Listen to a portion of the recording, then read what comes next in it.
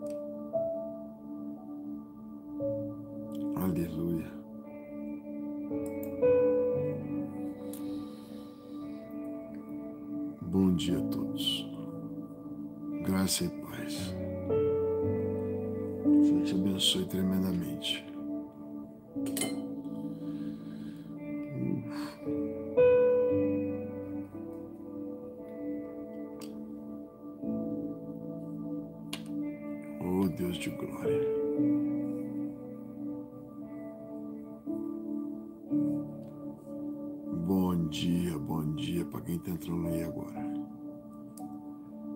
Daqui dois minutinhos a gente começa, amém? Bom dia, bom dia.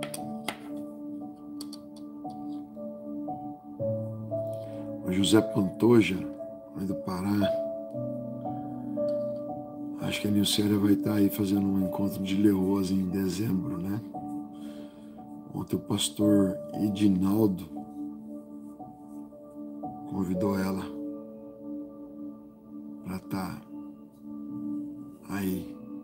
Pensei que ele ia chamar eu para ir junto só para eu aceitar, mas ele chamou ela só. Aleluia. Ela vai estar aí nessa terra boa. Eu creio, né? Vamos ver hoje o que, que ele fala, porque ontem, às 19 horas, hum, eu dormi 19 horas ontem. Tava sem dormir. Tivemos que vir de Itaguaí 5 horas da manhã, atravessar né, toda aquela toda aquela BR. Chegamos no aeroporto do Galeão, mandaram a gente ir para o aeroporto Santos Dumont, que tinha atrasado o voo. Foi uma correria. Chegamos aqui três horas. Tá uma revolução aqui na base, todo mundo lavando as cadeiras lá fora. Tinham pintado os. Pintado o chão aqui da base. Foi uma loucura. Eu cheguei ajudando, mas não aguentei muito não. O motorzinho falhou às. às 19 às 19 horas. Fui dormir apóstolo também, até agora. Eu creio que eu não vou querer dormir mais não. Vamos ver o que, que vai dar, né? Bom dia, pastora Vivian, Camila, Vera, Diego, apóstola Adélia, Janaína, Rosângela. Levanta da cama, povo de Deus, fica na cama não que você vai dormir. Edson Alves, Andréia, Espagi, Elaine Wesley, Ana Cláudia, Ney, Vera Lúcia, Joaquina Sônia Márcia, Maria Agnes, Ney Costa, Deusita, Eva, Pastor Rodrigo. Pastor Rodrigo, você está vindo para cá hoje, Pastor Rodrigo? É hoje já que tu vem? Acorda, Pastor Érica. Ele falou, Pastor Érica, não dorme agora não. Ah. Amém. Eu tinha falado que ia dar um testemunho para vocês hoje. Bom dia, Pastor Joab. Pastor Joab, vá com calma. Amém? Vá com calma e vá sempre. Tá bem? Vocês vêm amanhã? Que joia. Me Otília aí de Maputo. Shalom. Uhum. Sai, sono. Pastor André de Rio Verde, Goiás, glória a Deus. Pastora Flávia. Bom, deu horário, vamos começar? Vamos que vamos. Querido, eu tinha falado para vocês que ia dar o testemunho de quando eu conheci a apóstola Nucélia, né? Mas deixa eu ler um versículo para vocês antes. Antes, que é muito importante você fazer no prazo de reversão, é você. Duas coisas muito importantes. É você pegar, dar uma geral no seu guarda-roupa, tirar tudo que você não usa e dar para as pessoas carentes. Tá bem? Já falei um pouco disso, mas é muito importante você fazer isso no Yom. Você vai ver que você atraiu favor de Deus grandemente para sua vida, tá? Então não esqueça.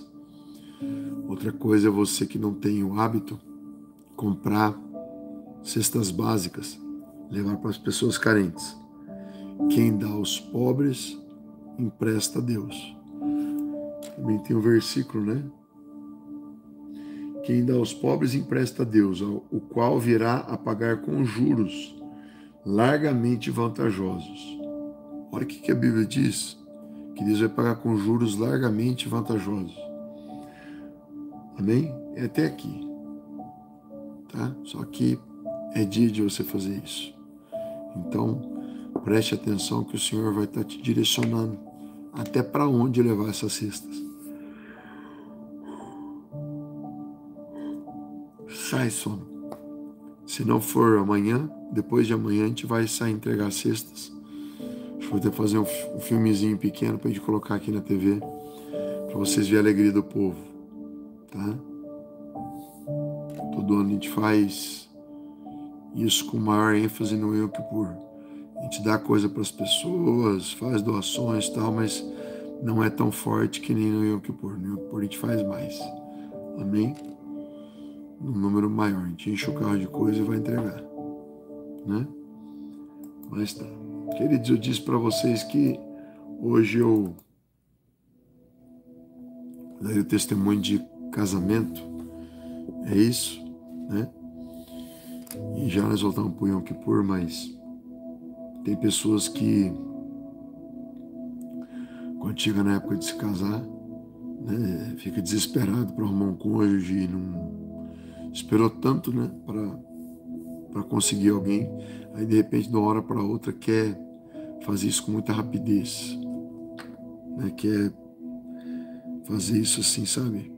De uma maneira até impensada, né? E Deus não quer que você faça isso. Deus não quer que você viva o jugo desigual. Deus não quer que você viva um jugo desigual. Bom dia, Fernanda de Angola. Bom dia. Queridos, não tem por que você se unir ao jogo desigual, porque as trevas não têm comunhão com a luz. E o Senhor já pediu né, para nós não, não fazermos isso. Então, eu lendo a Bíblia em 2006, Deus me pediu que eu ficasse em, em santidade orando pelo, pelo meu cônjuge, mesmo que eu não conhecesse, que eu orasse por ele, sabe, que eu abençoasse, que eu gerasse calma no coração dele, para ele poder é,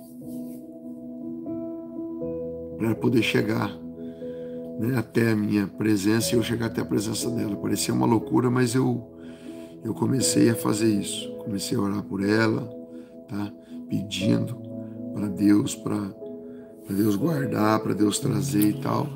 E esperei durante alguns anos. Porém, perto da hora de disso acontecer, eu estava fazendo uma campanha de seis meses no monte, tá? Seis meses no monte à noite, todos os dias para Deus trazer minha esposa. Queridos, parece loucura, mas eu estava determinado. Eu falei, eu vou esperar aparecer algumas pessoas antes.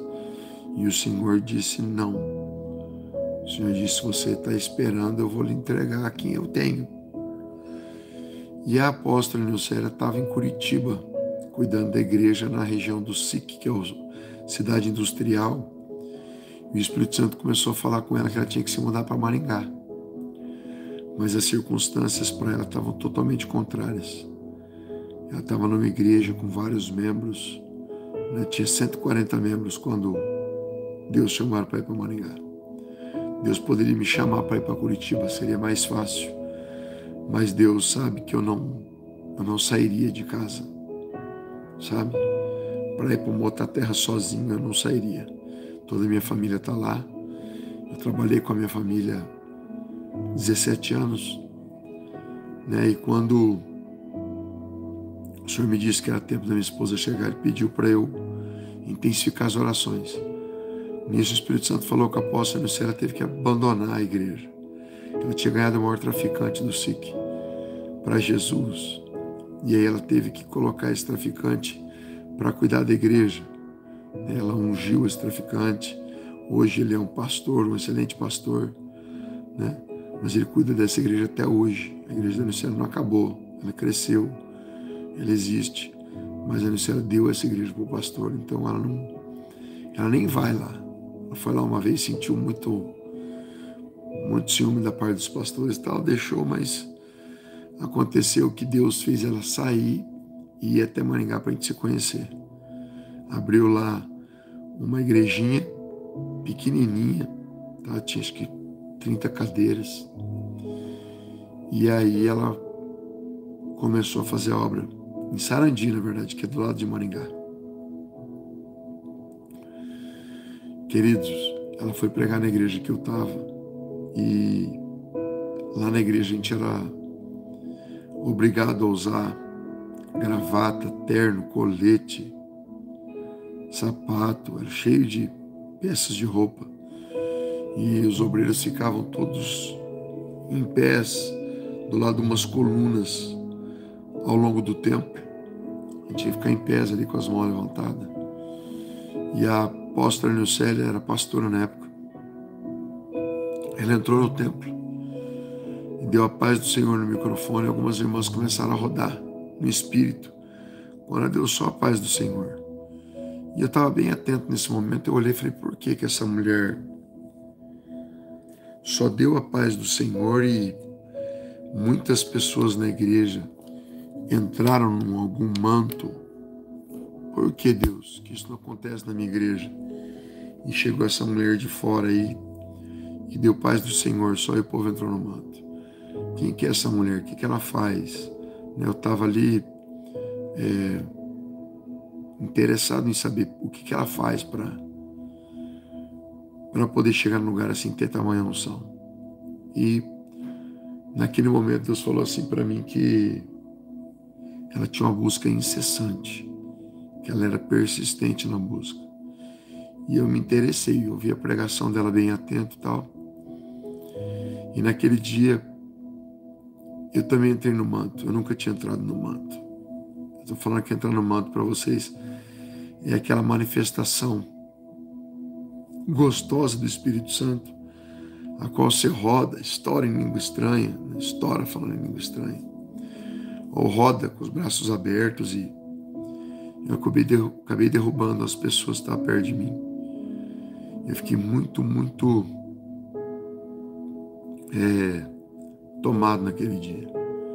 Né? E achei muito forte aquilo que aconteceu. E vi a apóstola no céu ali e falei para Deus, por que, que o Senhor me dá uma mulher que nem essa? Né? Por que o Senhor me dá uma mulher que busca, uma mulher de perseverança que nem essa aí? As moças têm aqui na minha igreja que elas não querem nada com o Senhor, não. Né? É, é muito superficial. Eu quero alguém, Pai, que tenha cicatrizes da obra. Entenda que meu pedido para Deus foi bem específico. Cicatrizes da obra né? Então eu quero. A Beatriz falando esse dia foi louco, hein, AP? tá? Eu falei, pai, eu preciso é, ter uma pessoa assim. Eu não posso lá encontrar uma pessoa que está é, muito longe espiritual de mim. Eu tenho que encontrar alguém que está além de mim, para eu ter que encontrar essa pessoa, para eu ter que buscar, né? Para chegar ao nível dela. E queridos, foi tremendo o que Deus fez. Já vou contar para vocês. Minha garganta está provada, vocês viram, né?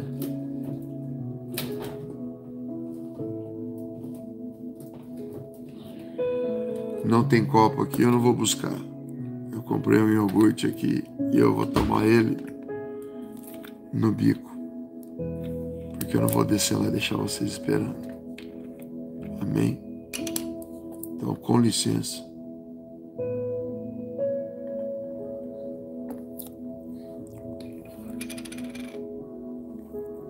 É só para aliviar a garganta que eu tô tossindo muito. Fala demais, né, queridos? Preguei muito tempo lá em Itaguaí, mas vamos lá. A apóstola Nilcélia é, apareceu na igreja e nunca mais apareceu. Nunca mais. Quer dizer, não apareceu durante aquele tempo, durante aquela época. E é, eu vi ela passar pela igreja e tal, falei isso para Deus, me dá uma mulher como essa, né? Que a apóstola José foi começar a pregar, ela chorava, sabe? Chorava muito. Falei, o que, que essa mulher tem? Muito unção e muito choro. A igreja aqui de Curitiba ficou de dar suporte para ela até abrir a igreja dela e tal, tal, tal, né? E continuar pagando o carro dela. Né? A igreja não fez isso, a igreja abandonou a apóstola José. Mesmo ela sendo a fundadora, desde o início tudo, não cumpriram.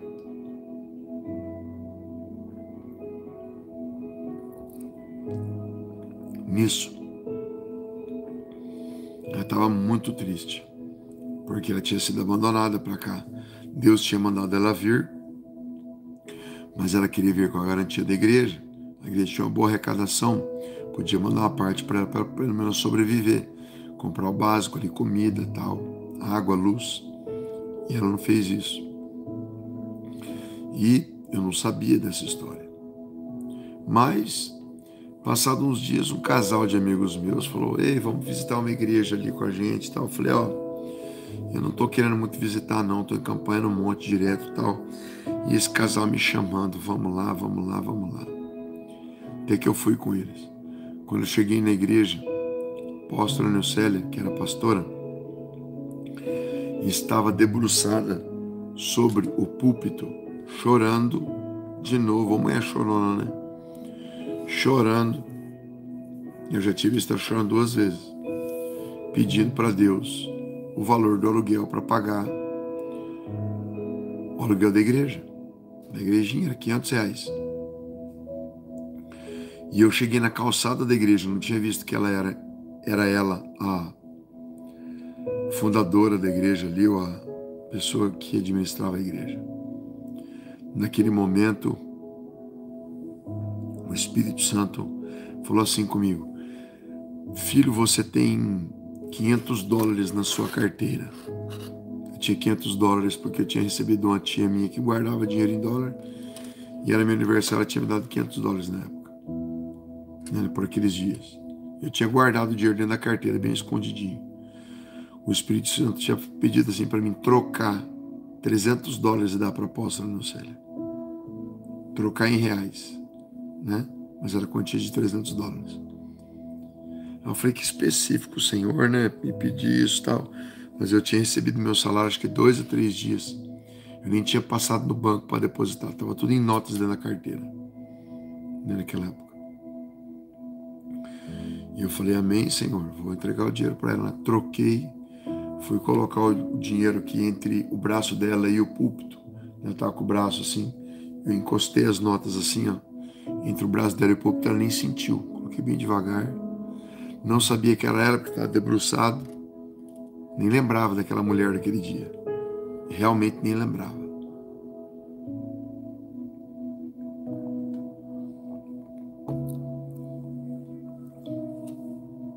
Queridos, quando aquela mulher levantou, né, que ela estava toda chorando, se limpou e tal, viu o dinheiro, deu um sorriso, olhou para cima. agradeceu a Deus, começou o culto já falando, ó, Deus usou alguém para vir aqui trazer o dinheiro do aluguel, né? da igreja que eu estava pedindo. E a igreja é bem humilde, mas bem humilde mesmo. Não tinha nem asfalto na frente. Tá? Estava para construir asfalto. Nós oramos dois anos para ter asfalto lá e fizeram asfalto. Né? Então, queridos, eu vi ali uma mulher guerreira, sabe, batalhando pelas almas, fazendo aquilo que Deus quer e orando muito e pagando preço e tal. E o Espírito Santo de Deus falou assim para mim: sai da tua igreja, qual você tá, está, uma Assembleia de Deus com 300 membros, sabe? Com 300 membros, não, com, dos, com 300 cadeiras, sabe? Cadeiras estofadas, lindas, né?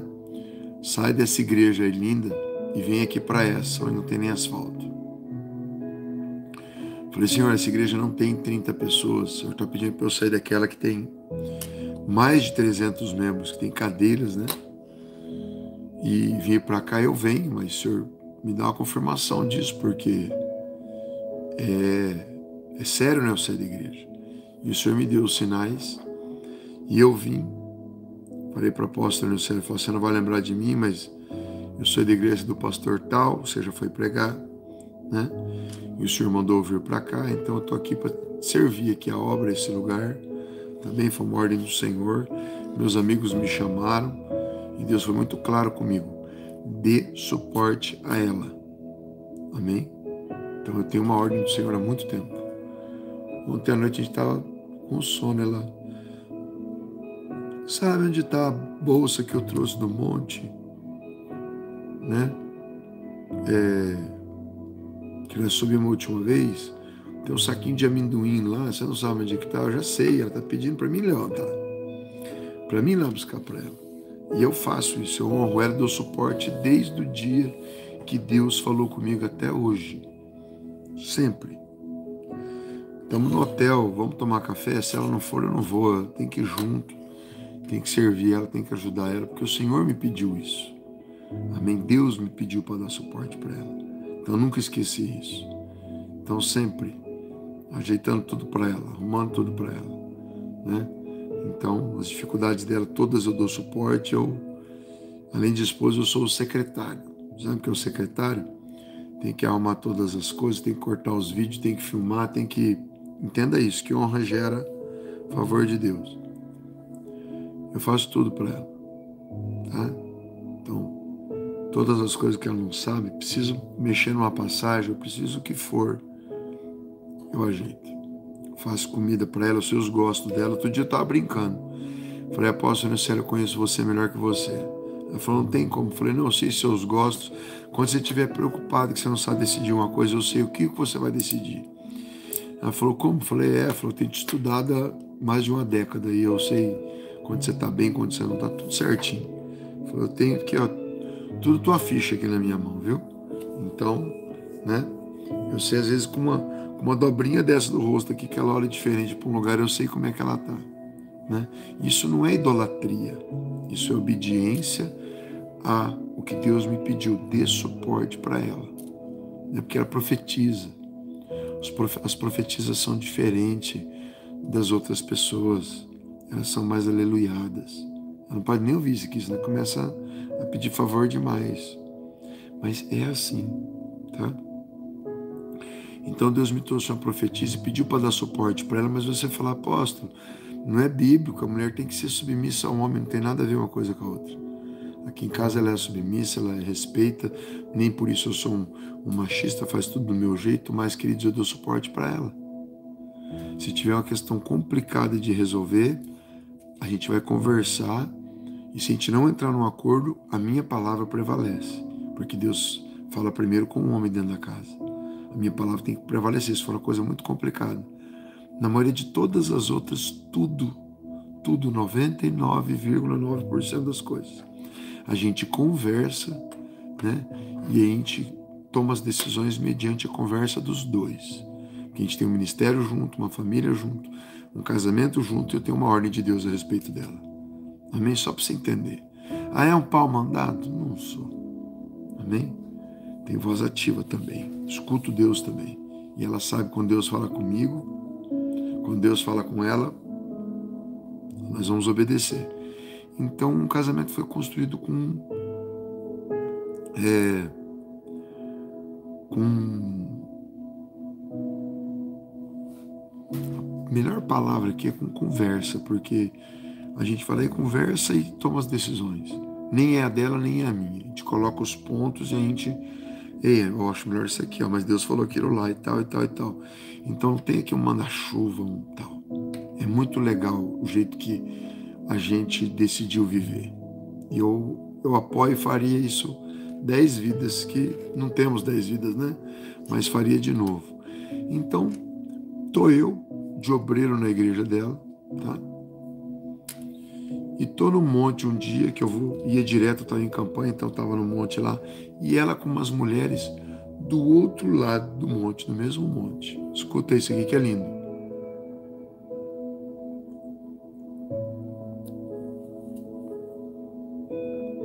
Doendo até para engolir. Tô eu no monte, cabeça baixa. Falei, Espírito Santo, você não está entregando minha esposa? Estou esperando bastante tempo. Só, só na campanha são seis meses, fora os anos que eu estou esperando. Eu quero que o Senhor apresente para mim minha esposa, eu estou orando para isso. Eu quero a mulher, quero que o Senhor me ajude a escolher. Eu não quero só olhar a aparência, eu quero que o Senhor, o Senhor conheça o interior, o Senhor conheça o profundo. Eu não quero só olhar a aparência. A aparência, tipo, tem várias pessoas, a gente acaba escolhendo alguém e aí escolhe errado. Porque o homem escolhe errado. Me ajuda. Nesse dia que eu pedi ajuda, eu falei, Senhor, quer que eu me humilhe? Eu encostei a boca na terra e abri os lábios. E esfreguei os dentes na terra. Falei, Senhor, quer com essa o senhor quer que eu. Tá gostando, Flávio? Você quer que eu esfregue a boca na terra? Eu esfrego. O senhor quer que eu me humilhe, né? E esfreguei, encheu de terra no meio das gengivas, do dente. Terrível. Até aí tá. Enquanto eu tô com a boca cheia de terra, o Espírito Santo fala: tua esposa é a pastora Neucélia e ela está aqui na mata orando com as irmãs. Queridos, aquilo foi tão claro como se pegasse um, um megafone, né? Eu dei um golpe. Sabe o que é um golpe? Eu estava com a boca aberta no chão, com as palmas da mão abertas no chão. Eu dei um golpe, eu estava em pé. Não foi aquela maneira de levantar rápido, sabe? Parecia um ninja levantando no chão. Falei, como Espírito Santo? Como é que é?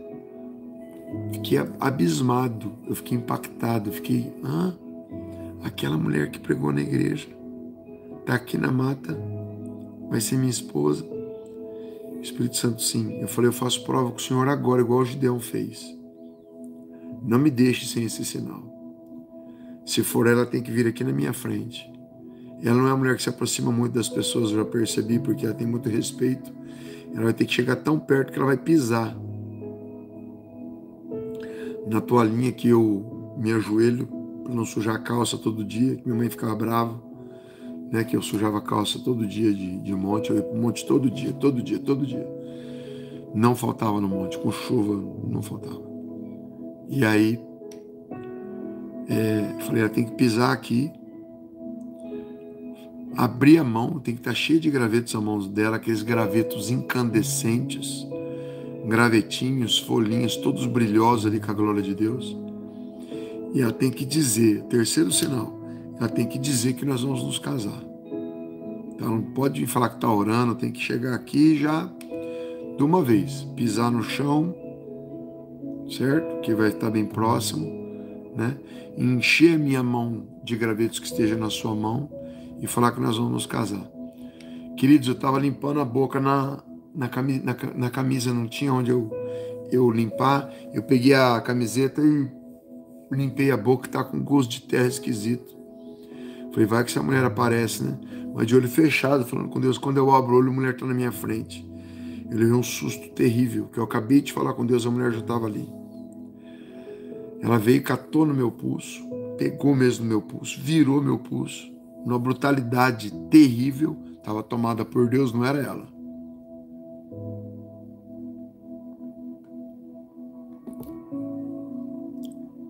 Eu nunca tomo tanto iogurte, senão, tá, queridos?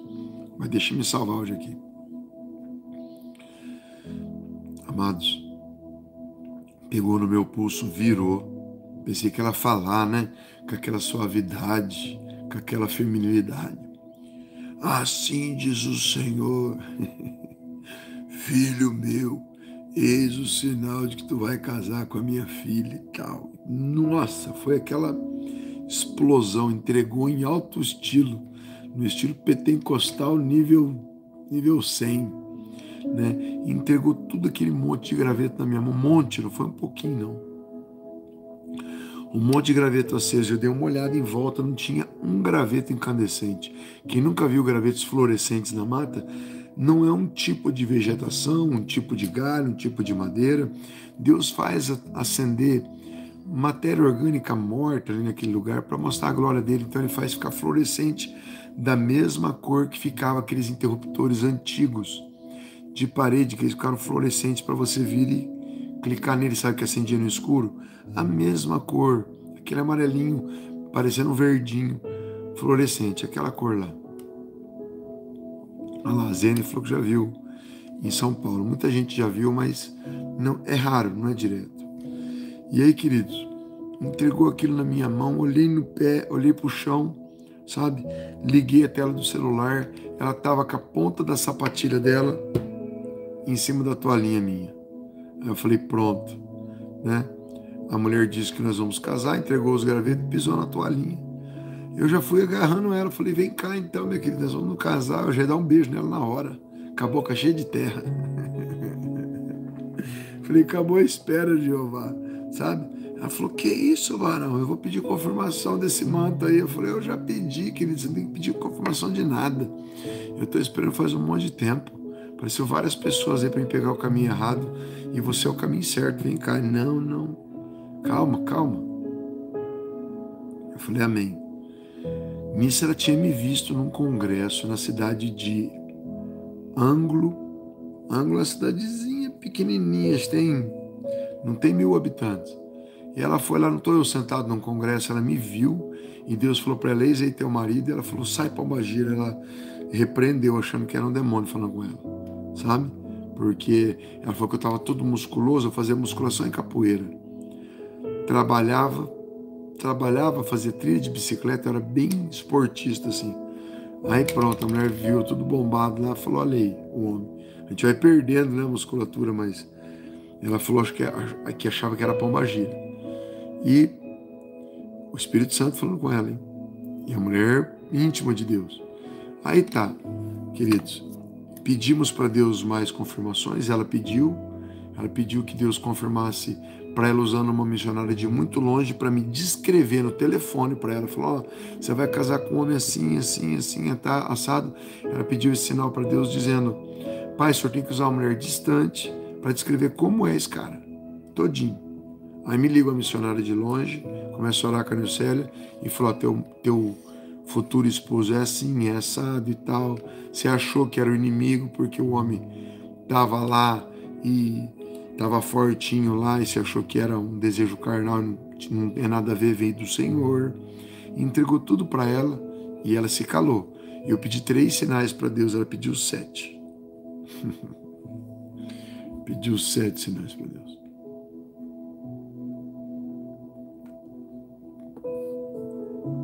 Eu não me lembro de todos.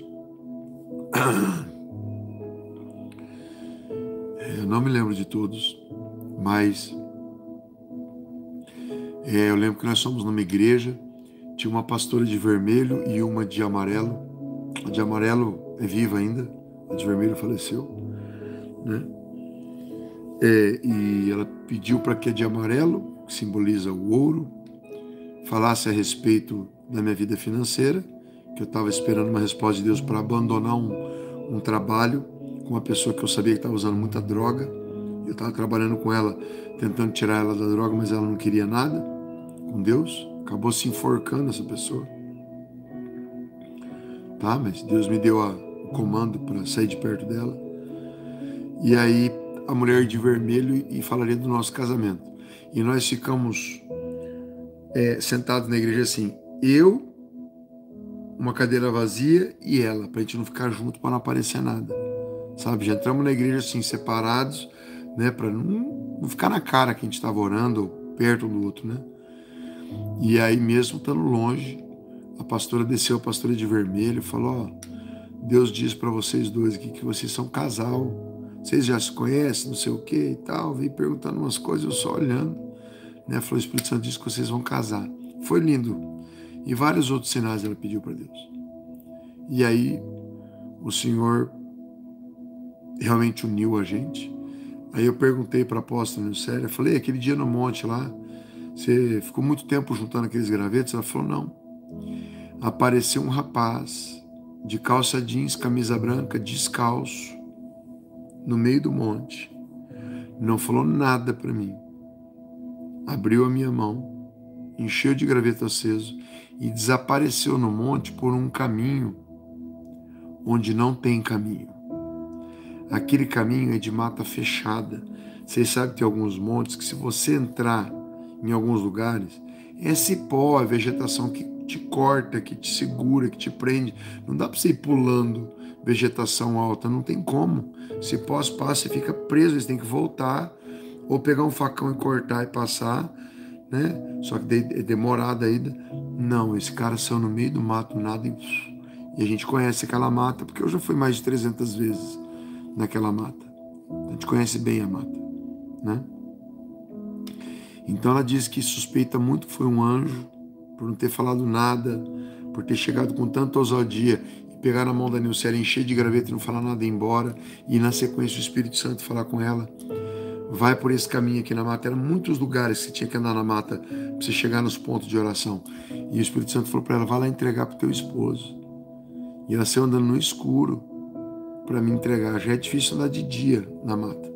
Você tem que ligar a lanterna do celular, você tem que conhecer, senão você se perde lá. Chamava Mata do G10 porque tinha um grupo de, de caminhões ou de caminhoneiros que ficava próximo ali, então apelidaram um monte de monte de G10. É um grupo de 10 grandes empresários caminhoneiros que tem em Maringá. Hoje não tem mais como entrar naquela mata, fecharam com alambrado, né? não pode mais entrar naquela mata mas foi permitido durante décadas. Né? E aí, assim, queridos, é o testemunho meu de união com a Nilcélia. Começaram, a Nilcélia tinha agendas todos os dias. Tinha pessoas que chamavam ela duas, três pessoas no mesmo dia para pregar. Ela começou a ficar é, com muitas agendas na cidade de Maringá e Sarandi. E era o ganha-pão dela. Como a igreja tinha abandonado ela, ela ganhava o dinheiro é, através dessas agendas, ganhava algum dinheiro, conseguia se manter, né? E nesse meio tempo dela estar tá lutando pela casa dela, nós começamos a namorar. Nosso namoro foi bem curto. Ela já falou, falou, não, você vai namorar o, o tempo de se perguntar mais alguma coisa de, de Deus, alinhar, porque não dá pra gente ficar namorando. Né? Não tem namoro, né? Para crente. Tem um namoro assim, para orou tal, e Deus confirmou casamento. Então nós oramos muito, nós, nós oramos muito pouco, sabe? Nos preparamos ali só. Em quatro meses a gente estava casado. Já na sequência já veio o Arthur, porque Deus tinha pressa, Deus ia lançar a gente, a gente só entendeu depois. Deus ia fazer a gente viajar muito, a gente viaja muito, sabe? Ontem a gente estava um reclamando pro outro, falei, como é ruim andar de avião. Tinha que a gente queria tanto andar de avião. Falei, meu Deus, quanta fila, quanta espera. É fila para isso, fila para aquilo, fila para despachar mala, fila para o embarque. E mais espera num, numa conexão, espera para outro. Falou, nós gostamos mesmo de viajar de carro. Né? Um olhou para o outro e falou, nós gostamos de viajar de carro. Tem lugar que não dá, né? Que é longe, mas nós como a gente gosta de viajar de carro. Que a gente vai conversando, a gente para visitar todos os postos de gasolina que está no caminho, a gente vai. A gente conversa muito, eu e a apóstolo. Muito, muito, muito. Dá testemunho, daqui a pouco começa a orar em língua, daqui a pouco vem uma oração, a gente, a gente, sabe, a gente se uniu, deu muito certo, muito certo. E sempre cuidando das coisas de Deus em conjunto, isso aí é muito bom para nós. Veem, Lucélia vai a terceira vez para a Europa. As três vezes eu tinha condição de ir. E eu sonho com ela para a Europa fazer uma viagem bem legal e também fazer a obra. Mas nós temos um filho pequeno que chama Arthur. E pra gente ficar mais de 15 dias longe dele, ele é muito apegado a mim. Essa noite, inclusive, dormiu na cama. Sabe, que a gente ficou final de semana junto, eu e o Célio, falou, Arthur, vem dormir no nosso meio aqui que eu quero grudar de um lado, seu pai do outro, a gente quer te cheirar até você dormir, cara. E, e ontem eu tava assim na cabeça do Arthur de noite, e ela alisando o braço, e, sabe, apegado, né? A nossa família é bem apegada. Então, é, tem, vai fazer 12 anos, né? Então, ela vai a terceira vez para a Europa. Agora vai passar por Alemanha, por Londres, pela Itália, e eu não sei direitinho, mas tem um, um caminho para ela passar ali, né? Ela tem a terceira vez. O que, que o senhor fala para mim? Não deixa ele não? Nada, apoia ela. Amém?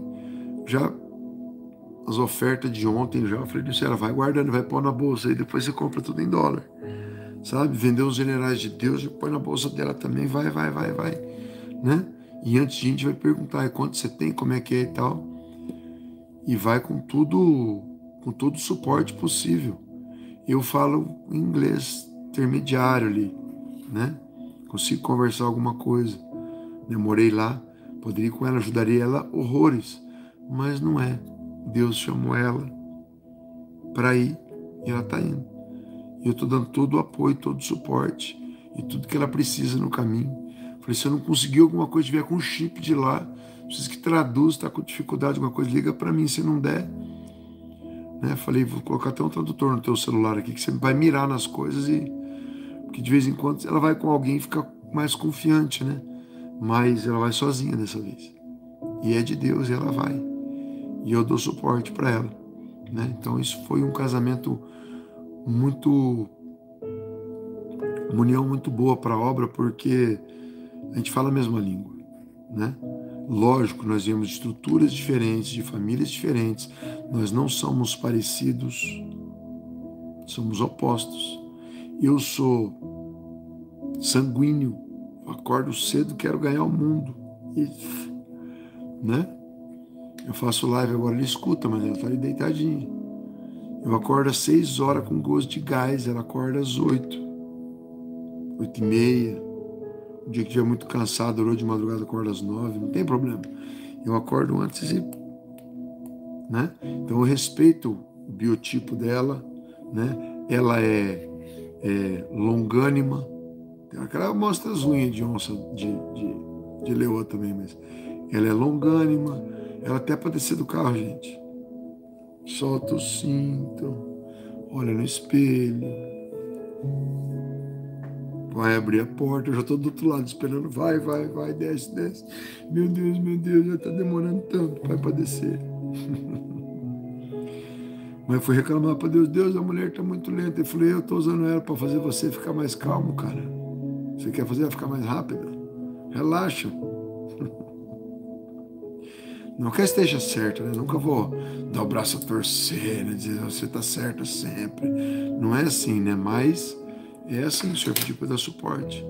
Então eu ajudo. Há 12 anos ajudo em tudo que dá. Tudo que dá.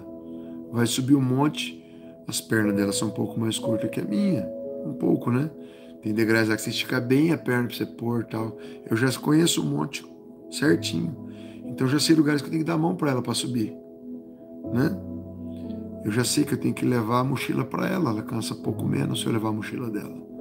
A gente leva uma mochila só para os dois para levar água, uma comidinha, alguma coisa. Então eu já eu tento carregar as malas, eu tento fazer a parte bruta. Preciso descarregar o mercado a vida inteira. Ela leva uma caixinha para dentro, eu já sei, o resto eu levo. O que, que é isso? Eu estou honrando ela, mas estou honrando mais ainda a Deus que me pediu para fazer isso. Dar suporte para ela. Então, queridos, isso é atitudes de honra. Eu faço isso, Deus aumenta a minha unção. Hã? Deus aumenta a minha unção. Eu sou uma pessoa que sirvo. O, outro dia eu acabei a live, era 4 horas da manhã. O Arthur acordou, porque eu estava falando, lógico, né? Que ele estava aqui perto. 4 horas da manhã olhou tudo e falou: Pai, estou com fome. Eu falei: Vamos preparar algo agora. E eu cozinho. Desci com ele, quatro horas da manhã. Fazer comida. Então, se meus filhos ou minha esposa pedir algo para mim, eu paro tudo e vou servir a eles. Amém? Enquanto eu estiver vivo, eu vou servi-los. Tá? Eles também deveriam me servir à altura, mas não são. E não é porque eles não servem à altura que eu não sirvo eles à altura do que Deus me pediu. Amém? Como eu era um ex-usuário de droga, quando Deus deu minha família, para mim foi muito precioso. Ganhar uma família de Deus foi é, muito, muita honra para mim, ganhar uma família. E mais uma família bonita, meus filhos não dão trabalho, são caseiros, sabe? Então eu tento honrar eles ao, ao extremo. Olha o Cauê, tão novo. Tive o carro que eu, o carro que eu conquistei aos 41 anos de idade, ele com 20 recebeu. Por quê? Falou, não é porque eu me ferrei um monte para crescer que você vai se ferrar um monte. Eu vou facilitar tudo para eles que eu consegui. E vamos mostrar para eles, falou, dê valor, porque é o Senhor que tocou meu coração. Dê valor em tudo. Então, queridos, minha família é, foi blindada em oração, graças a Deus, mas foi muito perseguida. Minha mãe não queria ir no meu casamento. A mãe da Nilcélia também anunciou que não ia. Quando nós se unimos, a Nilcélia perdeu quase todas as agendas, porque pastoras começaram a se levantar, dizendo que a apóstola Nilcélia é, tinha se relacionado com um novo rapaz que estava namorando, que podia estar em fornicação, que não sei o que e tal. Foi terrível. Uma pastora começou a se levantar contra a Nilcélia. Ela, ela tinha o trabalho de ir nas igrejas antes da Nilcélia pregar e falar para os pastores que a Nilcélia estava em fornicação comigo. E a gente orando numa, numa trajetória tão tão sobrenatural de se conhecer e tudo, e temor de Deus, campanha de oração, mas as pessoas se levantou, né? É pastora Dalva da Batista Renovada. E nós ficamos bem tristes, nós choramos juntos, falando, Deus, que injustiça é essa? pastora Dalva estava benzinha de saúde, dali uns dias morreu, gente. Morreu. Do nada. Infarto fulminante. E atrapalhando toda a obra da Nilcele, e a gente quieto, só olhando, meu Deus. Um dia nós fomos para o pastor, ela tinha, ela tinha um superior, essa essa pastora Dalva, nós fomos para o pastor, ele era pedir um gabinete com ele. Chamamos ele, contamos as coisas que ela estava fazendo. O cara não estava acreditando. Eu catei o celular que eu tinha um áudio gravado dela indo nos pastores. Tem um pastor amigo nosso que gravou ela indo falar mal para tentar bloquear, para não deixar ela parar de pregar. Tamanha inveja. Peguei o áudio, mostrei. O gabinete do cara ficou um escrivão, uma testemunha, ele e a esposa mostrei e falei, a mulher está se levantando que o ganha-pão da Nilcélia é as, é as, as pregações dela, ela falou, estão fechando as portas por causa dessa calúnia que eu estou levantando. Se você quer chamar nós todos aqui, se ela provar alguma coisa, o cara me vai e me marca. Um gabinete com testemunha, com escrivão no Ministério Grande, e que essa pastora na nossa frente. Pastora Dalva. Pastora Dalva começou a mentir o pastor falou: Ronaldo, você tem aquele áudio que você me mostrou? Eu falei: Tem. Catei o microfone do pastor, encostei no fundo do celular assim para ficar alto, o microfone da igreja. Saiu essa pastora falando mal de nós e falando mal do líder no áudio, que eu não tinha mostrado tudo. Mostrei aí, nossa, esse esse bispo ficou bravo com ela tal, mas ele mandou a gente embora, que ia conversar com ela. Não adiantou conversar, essa mulher continuou nos perseguindo, Deus levou ela. No dia pro outro, assim, foi muito rápido. Eu falei, no céu, a mulher morreu. Sabe? A gente só chorava no monte e falava, Senhor, que nós não fomos. Nossa luta não é contra carne e sangue. Né? A mulher morreu, gente. E ela, essa mulher, a Dalva, ela tinha uma filha de 18 anos. Uma moça loira, alta, sabe? Uma moça bonita assim tal. Mas não tinha nada a ver com o propósito meu da Nilcélia. Essa pastora chegou de noite no monte que eu ia entregou uma falsa profecia para Nilcélia e uma falsa profecia para mim. Para Nilcélia, ela entregou que Deus mostrou que eu era um cara assim muito promíscuo, queria fazer coisas sexuais com ela que não agradam a Deus, que ela virá a mesma coisa que uma prostituta na minha mão e encheu a cabeça da Nilcélia, falando que era Deus. No mesmo dia, no mesmo monte, ela veio em mim e falou assim: te diz o Senhor, que a tua esposa não é Nilcélia, não, é a filha dessa serva que vos fala. Olha isso. Falando que era filha dela, de 18 anos, que ela achava que eu tinha dinheiro, porque no, o meu sobrenome lá na minha terra Todos os meus familiares são donos de grandes empresas. Então ela achou que eu e era também rico, sei lá. E aí ela pediu que nós fôssemos um dia antes dessa correria dela para tentar falar mal da gente, pediu que a gente fosse na casa dela tomar um chá. Tanto ela pediu, nós fomos. Quando nós somos, a filha dela passava com um shortinho curto da sala para o quarto, bem na frente da gente, sabe? e veio, chegou ali e tal, e a gente olhando falou, mas que, que falta de, de, respeito, chama a gente aqui, a menina andando com um shortinho de pijama na casa, então ela queria jogar a filha dela no meio, sabe? Então, queridos, aconteceu muita perseguição. Imagina minha própria mãe, a mãe da Nilcélia, não querendo o nosso próprio casamento, né? E a gente sem dinheiro, a, a, o Espírito Santo falou assim, escolham uma churrascaria que vocês querem fazer o casamento. Nós passamos na frente da churrascaria, que é, para nós era a melhor da cidade, e falamos, pai, vai ser aqui e tal, mas falou, senhor, nós não temos 300 reais, a gente não tinha na época para alugar o vestido. Tudo nós ganhamos.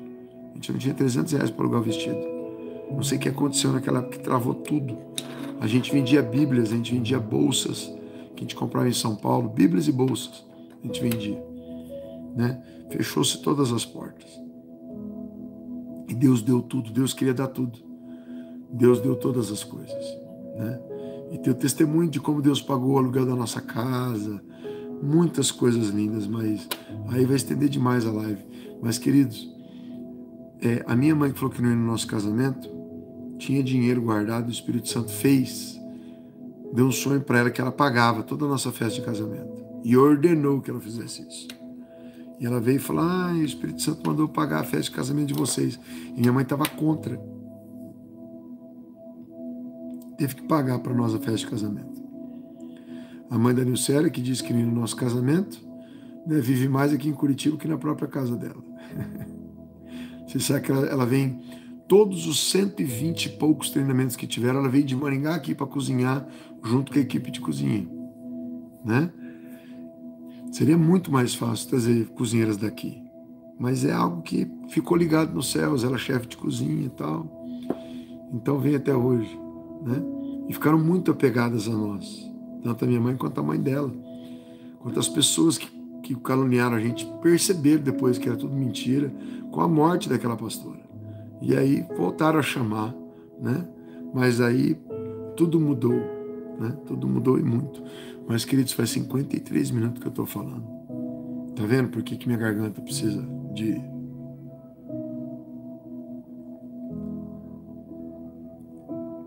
iogurte.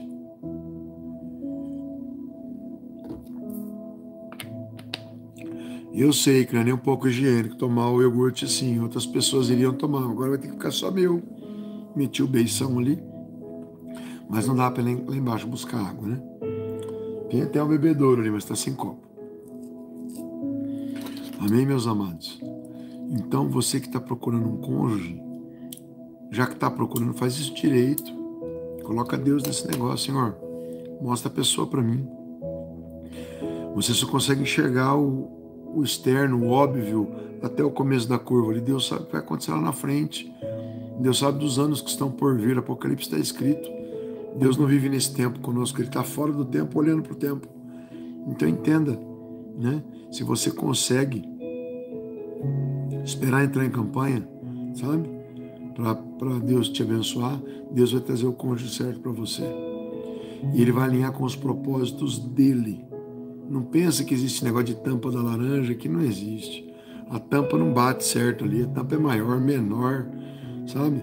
É diferente, as pessoas vêm de, de uma educação diferente, tradição diferente, pais que, vier, que, que têm nacionalidades diferentes, com culturas totalmente diferentes, casamento adaptação Casamento é um dar o braço a torcer, o outro também. se adaptarem vencerem, é muito diferente um, um do outro, sabe? E você tem que se adaptar e gostar do diferente, é tudo novo, a pessoa tem outros costumes, né? Uma põe o pó no café com a água fervendo, o outro põe o pó de café no coador e põe água no. Ah, ah não, pó, pó, pó, pó, pó, mas vai dar café do mesmo jeito. Amém? Vai alterar as coisas ali, mas. Ah, não, mas minha mãe falou para mim que você tinha que misturar o açúcar com o café dentro da chaleira. Não, minha mãe falou que põe no coador. Não, minha mãe falou que põe dentro da garrafa. Vai tomar café. Amém? Então, aí o Marcos Almeida, quer casar? Ora em Deus, começa uma campanha só para isso, específica, igual um sniper, assim, pai, quero que o Senhor me mostre. Deus vai trazer para você, tá? A Flávia está perguntando para Deus, para onde eu vou? Geográfica, né? Deus é assim, amém? Então tu conhece campanha específica, pai, eu quero isso. Até você ganhar, você vencer, não, não tira o foco, fica ali. Você vai ganhar como eu ganhei. Amém? Ah, a Silvane falando essa palavra é para mim, já errei muito, ora por mim, vou orar assim. Sabe? Então, quando o homem o homem escolhe, o homem erra. Né? Por isso tanto divórcio, tanta coisa. Né? Quando Deus brada, aí é uma aliança feita em três, desde a época de escolher tudo. E eu e o já tivemos brigas, discussões, não batemos a ideia várias vezes, mas estava com Deus. Então não bateu ideia, não. Então pula esse assunto aí, o outro vai dar certo e tudo certinho. Amém? Então, Deus tem o melhor para você. Pode crer nisso. Eu vou orar assim, mas quero avisar vocês que nós vamos ter aqui o Corpo Transmissores de Glória de, glória de dezembro. Já tem um monte de inscrições feitas. Tá? E tem gente que fala, pô, apóstolo, não me avisou com antecedência. Estou avisando, vai ser em dezembro, cinco dias. É para quem quer mergulhar muito. É cinco noites diferentes, de comidas diferentes, de subidas no monte, duas subidas ao Rengava. É muito top, tá? Mas eu estou avisando vocês, já está a inscrição no ar, mas bombardearam a gente de inscrição já, tá? Vai ser em dezembro. Então você quer participar? Inclusive eu não sei a data exata, mas porque está na agenda. Mas deixa eu ligar o troço aqui que eu já falo. Só que se não esqueça de falar, a gente está em campanha, tem gente que quer vir para mergulhar mesmo, né? Dia 16 e 17, 15 e 16, perdão. 13, 14, 15, 16 e 17 de dezembro. São cinco dias. Tá? Cinco dias inteiros ministrações. Sai daqui cuspindo fogo tá? Eu não lembro, Elaine, o que, que eles combinaram. É só entrar no site www.comandoaga.com.br ou chamar o Cauê, tá bem? É mais caro porque são, são cinco, são 15 refeições, então tem equipe para cuidar da gente, a gente vai subir monte, a gente vai fazer um monte de coisa, então é 15 refeições. Mas fizemos no carnaval, a turma do carnaval já apavorou as, as, as inscrições do, do do Corpus de dezembro, porque eles gostaram tanto que falaram quando vai ter outro, falando dezembro, eles já queriam fazer no carnaval mesmo. Então essas pessoas já garantiram muitas vagas, né? porque só cabe aqui na base 100 lugares. Amém?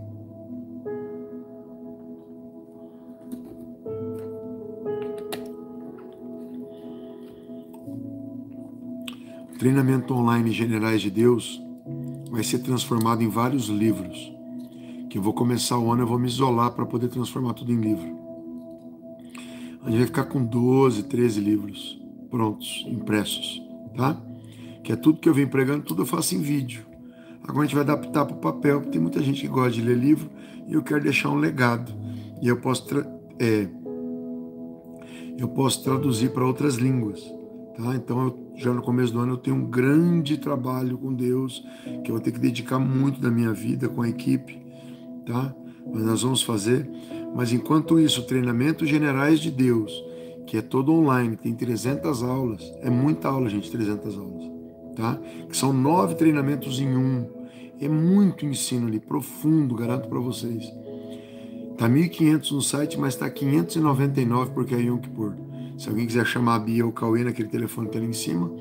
e fazer o treinamento. Inclusive, eles parcelam para você. Então, ó, mais mamata que essa, mais mamão com mel, não tem. Então, tem gente que está deixando passar, né? E depois, ah, posso, eu queria. Acabou, acabou, tá bem? Só avisando vocês, porque é, eu fui esse final de semana lá em Itaguaí, muita gente aproveitou. Tá? Tô avisando vocês porque tá aí, tá fácil. Depois fala, ah, não falou para mim, falei, avisei, tá bom? Tá? É, é totalmente fora do preço esse treinamento. Ele é muito mais valioso que isso. Não dava para precificar, que a gente tem que colocar um preço, tá? Mas não dá para precificar os generais de Deus. Ele tinha que ser um, um, treinamento aí de, sei lá, de 10 mil. Isso é verdade. Isso que é o que tem no meu coração não sai. E eu que desenvolvi o negócio com revelações de Deus, de verdade. Demorou quatro anos e meio para fazer. O certo era valer 10 mil reais. Não tem nenhum treinamento que eu tenha noção parecido no mundo eu procurei em inglês, em espanhol. Não tem, porque as pessoas escondem esses segredos. Eu conto tudo, tá? Segredos de administração, de unção, de tudo, tá tudo lá. E foi coisa que o Espírito Santo me revelou na cabana. Então, além de demorar quatro anos e meio, quatro anos e meio para a gente fazer os Generais de Deus, tá? Foram mais de 1.100 livros, um monte de dias de cabana. Então, você quer fazer? Fala com a Bia, tá parcelando para a turma aí, fazendo do jeito que o povo quer. Falei, Bia, relaxa Yom Kippur. Relaxa, tal. Acabou Yom Kippur, não vem com. Ah, mas. Ah, já fez. Tá bem? Tá lá. Esse mês só. Hoje é dia 19. Tá bem? Então, ó. Tá feito. Tá? Vai ter encontro de leoas aqui em novembro. Tá bem? Em novembro é novembro. A apóstola vai estar no exterior do dia 9 de outubro a 9 de novembro. Depois já tem encontro de leoas. Outubro não tem treinamento, treinamento na base. Também não haverá, nós vamos pular esse que eu estou precisando descansar. Olha a minha voz, como é que tá. Tudo, preciso cuidar de mim também. Um pouquinho. Então eu vou descansar assim, andando de bicicleta. e buscando a Deus, né? Então, queridos, Tá aí os treinamentos, só fazer as inscrições, tá? Obrigado você que deu like, tá? É muito importante para nós porque o YouTube ele vê que você validou a live, tá? Você que não deu like aí, ó, custa nada apertar o botãozinho ali. Se não se inscreveu no canal, inscreve porque a hora que acabar essas lives aqui no dia 19, não, no dia 23, 24 e 25. No dia 25 desse mês, tá? Entrando no mês de outubro, eu entro com treinamento vários dias à noite aqui no canal do YouTube aberto, treinamento gigante. Tá, vou dar um nome para ele ainda, estou vendo se vai ser ah, Código dos Profetas, tá bem? Eu, eu, creio que vai ser. Eu já fiz 40 aulas de Código dos Profetas, mas eu vou começar do zero, tudo de novo, tudo alinhado, com o auxílio de livros, de revelações que Deus deu. Vai ser power, tá? Vai ser aberto para a galera, a galera que quiser ajudar, ajuda. Não vou fechar não tá bem? Treinamento, tá? Então vai ser profundo. E é bom que você esteja familiarizado com os generais de Deus, que daí você vai entender muito mais. Tá joia? Que Deus abençoe todos vocês. Quem vai vir para o monte, entenda, vai tá vindo uma, uma fonte, uma fonte não, tá vindo uma frente quente para o Brasil inteiro, que vai pegar vários dias, que vai aumentar a temperatura muito, muitos lugares que temperatura máxima é 30, 33 graus, vai para 40. Então, traga roupa de calor para cá também, para você subir o um monte, porque vai estar tá fervendo. Quer trazer uma sombrinha pequena dentro da bolsa para você colocar lá em cima no, no sol, que vai estar escaldante, protetor solar, óculos escuros, boné, chapéu. Se proteja, viu? Ó, a marca tá aqui do último monte, de cor do braço, ó. Tá? Não podia tomar banho com água quente, tanto que doeu. Agora ficou mais escurinho, tava vermelho tá? Mas tá vindo essa frente quente hoje para cá, tá? Chuva de granizo, um monte de coisa. Então, vem com Deus, tá bem? Olha lá a apóstola dele falando, blusa manga comprida, tá? Porque queima mesmo, tá? Lá ainda é, parece que lá o calor é maior na montanha, Tá bem? De dia aquele frio, de noite, de, de manhã já à tarde aquele calor. Tá? Aqui faz quatro estações no mesmo dia. Então vem preparado. Tá bem, ó? Que Deus te honre, não esqueça. Tô dando a oportunidade para você de você comprar de 1.500 por 599. Tá agora lá. E é vitalício. O que, que é vitalício? Nunca vai acabar. Sempre você vai poder estar consultando aquelas aulas. É muito grande esse trabalho. Tá bem? Que Deus abençoe vocês em nome de Jesus. Até amanhã. Tchau, tchau.